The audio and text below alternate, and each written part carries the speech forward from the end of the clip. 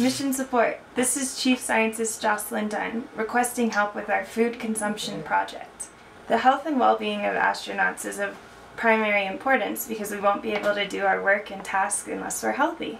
And one of the things that is part of everyone's life on Earth and Mars is food. And everyone loves food and we eat a lot of it, but we also need to be able to track it since we're bringing a constant um, supply that has to last us for a long duration. We need to have a lot of planning and thought behind uh, how we how we do our inventory and how we schedule our resupplies. So part of our study here at HI-SEAS is learning how much do astronauts eat, what do we like, and how often do we need to resupply these goods. So with the data that we're collecting now, they'll be able to plan better for future Mars missions.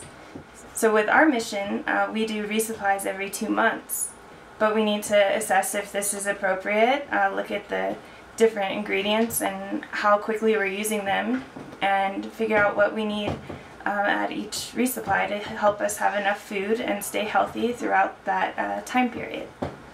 Currently, uh, we have a barcoding system that we use to uh, check our amounts of every single item that we have. So here behind me you see uh, lots of different vegetables and fruits here and they have different barcodes. So we do what we do is a lot like in the grocery store they scan the item and when we scan this item I can see uh, how many uh, bins of carrots we have or green beans or each of the items. So every item has a barcode and that allows us to track uh, how many of each of the items that we have at any given time.